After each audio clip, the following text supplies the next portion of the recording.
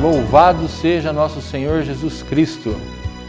Eu sou o confrade Marcos Flávio Ribeiro, atual presidente do Conselho Metropolitano de Jundiaí. Venho convidá-los a participar do nosso encontro anual vicentino, o EAVE, que acontecerá dia 19 de setembro na TV Século 21.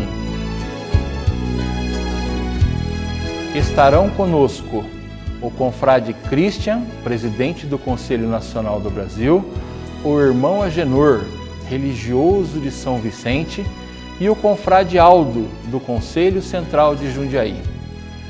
Venha viver um momento inesquecível junto com os nossos irmãos vicentinos. Não esqueça sua máscara. O local está preparado para que o encontro aconteça de forma segura. Venha!